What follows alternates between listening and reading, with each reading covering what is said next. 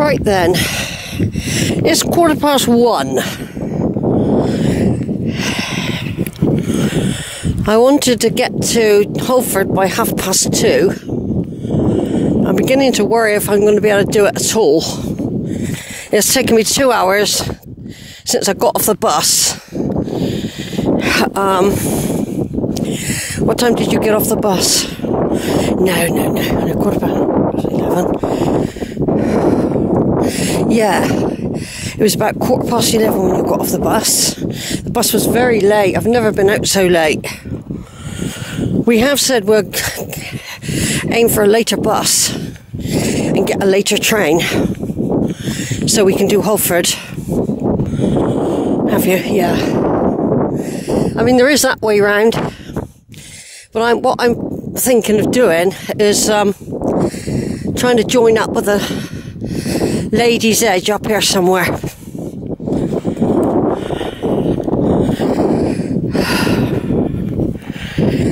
Yeah, so I could have cut all that out, just come straight up and over. Um, but I thought, no, do a little bit something different.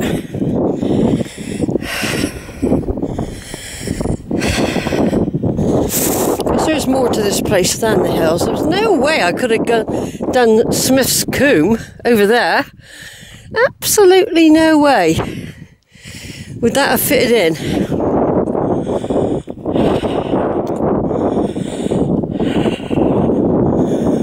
I've got a feeling this is the top, the backbone, rather than Lady's Edge, this bit, which is all right. It's fine. Still takes us to the plantation. Once we see the plantation, we know we're on route. The other route would have taken me around like that, which is all right if I wanted to go down through uh, Foxton. So this is it. Very dull at the moment, the Brackenut. I think I can see those two people up there. They could be sheep, I'm not sure. Um, this hasn't come out yet. Right, it's not come out. Now we come back here in, a, in July.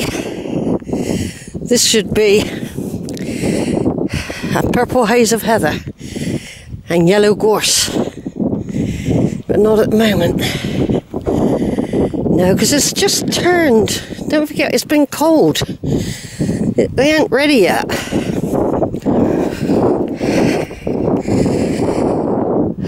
So, um, oh, July, August, we should have.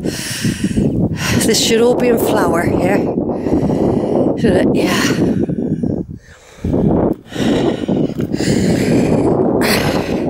No, what I've decided is um, because it's like evenings. There's there's a, later buses. The worst thing that can happen, as always, is if you miss a bus down there is 45 minute wait. And they can all be late as well. So say you said to yourself um, say you said to yourself I'm gonna which way are we going Shell? I know. Do you want to go across and pick up the path you'd get there 10 minutes before the bus, right? Say you said that to yourself, right? Yeah. You say that to yourself, and then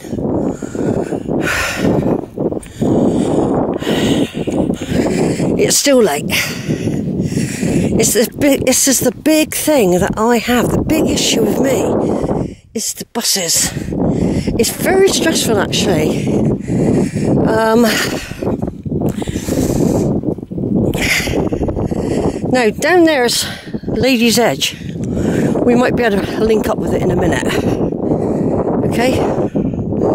Meanwhile, we'll go this way. But I think we'll try and get down there. Join Lady's Edge.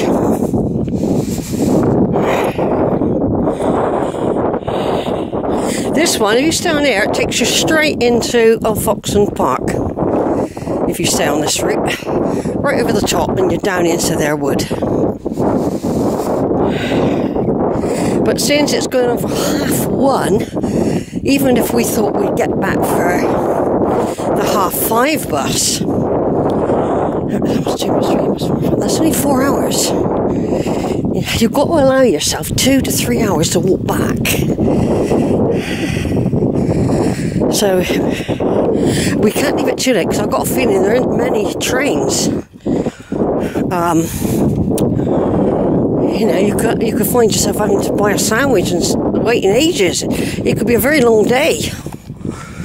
Like I say, it's very stressful. Um, the bus thing. I'm grateful that there is a bus and a train.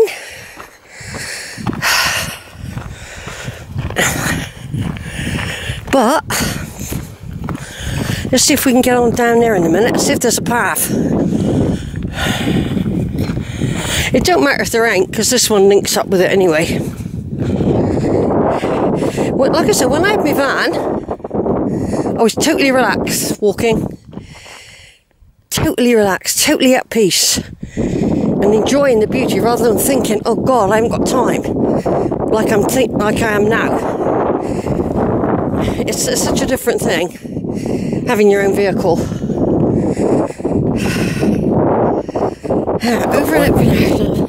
Right, I'm back on. I was just saying what I could do with now that I I'm not too keen on camping without an airbed at my age, and I've got no transport, so I've been down through there before. Soften deer down there.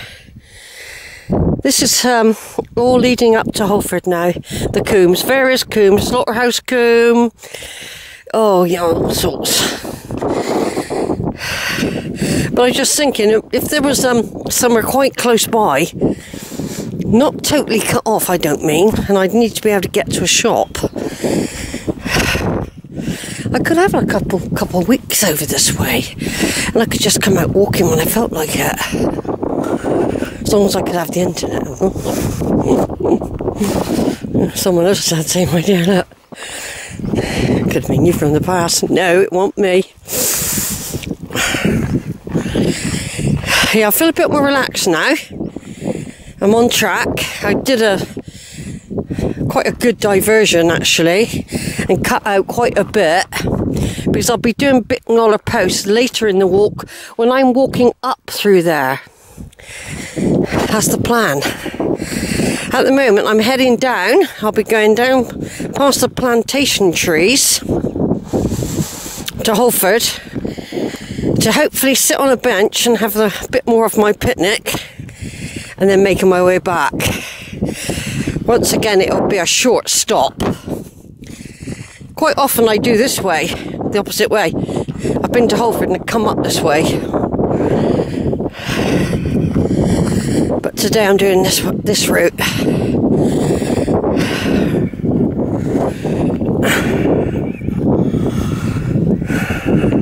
I'm going to be late getting home tonight, and I don't mind really because it is a well, it's not summer yet, but as long as it don't thunder and lightning, like it said it might, I'm fine. Now, in a minute, we'll get around this corner and we'll be able to see the plantation trees.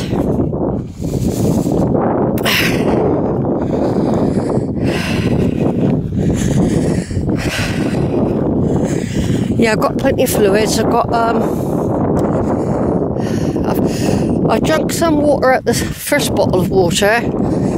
I drank some water. I drank a whole bottle of fruit juice to give me a glucose boost. And I've had um, Aero chocolate bar to give me a little bit of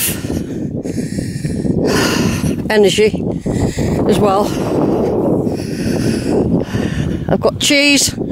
I forgot the tomatoes, not to worry.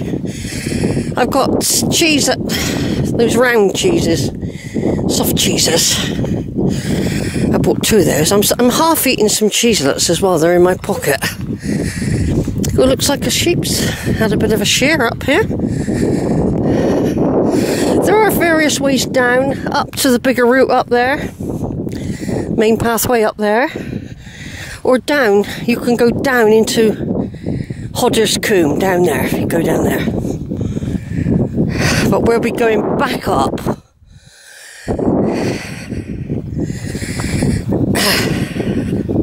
Like I said, as far as I'm concerned, I'm about two hours out, out. To be kicking off my walk out here at quarter past 11 is, is ridiculous. What I've done to compensate that before now, I've come on a Saturday where I can still use my passes cheap on the train and and the, the bus. I've had to do it on a Saturday usually. Um, so I am under a bit of pressure time wise because I normally like to get the bus about four o'clock in order to get a five o'clock bus, but that is in the winter. So when I'm on the station, if I've got to wait hour and a half, if as long as the little cafe's open, I can get a coffee or tea and a sandwich, and that'll be fine. There's no panic to get back. There's no panic. I can always catch up on everything. Anyway, while we're going along,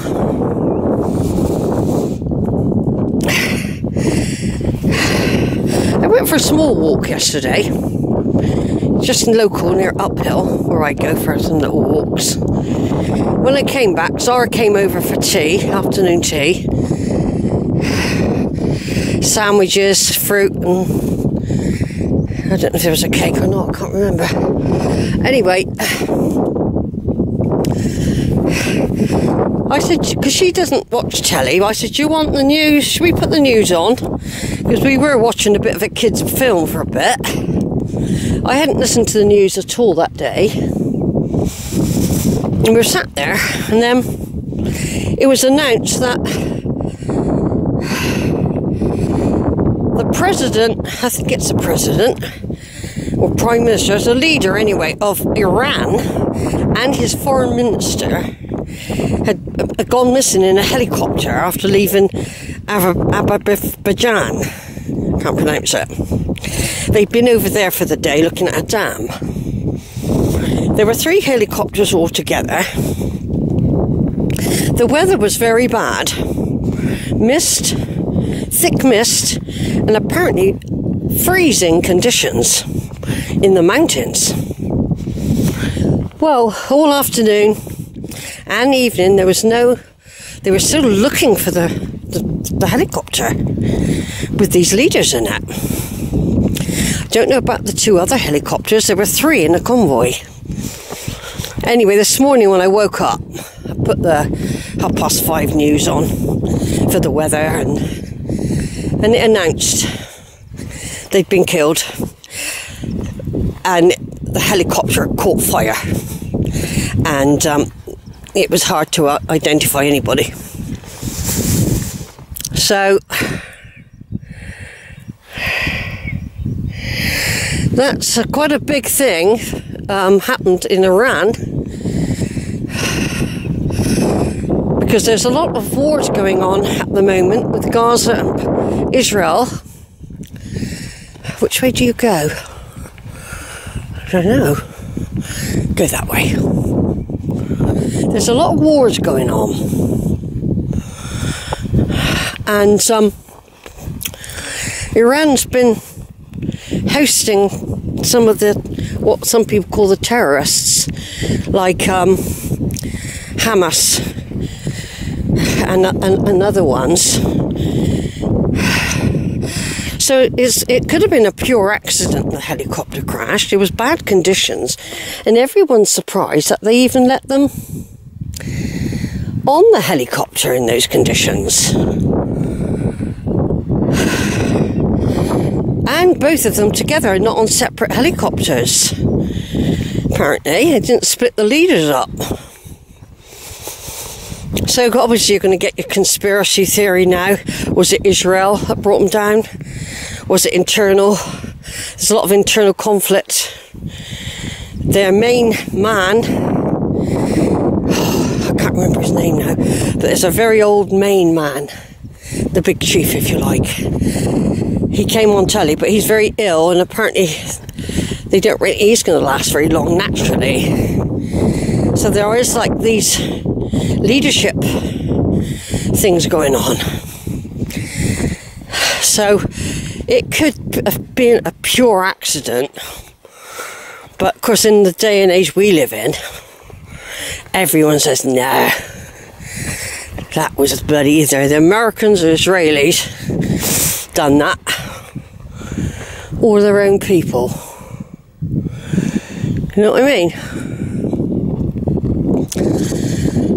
So, uh, we won't really know right away. And uh, the helicopters were burnt out as well. Somebody behind uh, behind me and above. Is there? Yeah. Somebody behind me and above. What's that up there? Right, so there we go. Here we got the there's um, Dow- Hill Fort over there, which I haven't done for a while. You've got Holford Combe going up there. Hodder's Combe, it branches off into another combe going that way, and then then it goes to Slaughterhouse Combe, then you've got other combes branching off all the way along. Over and out for a minute.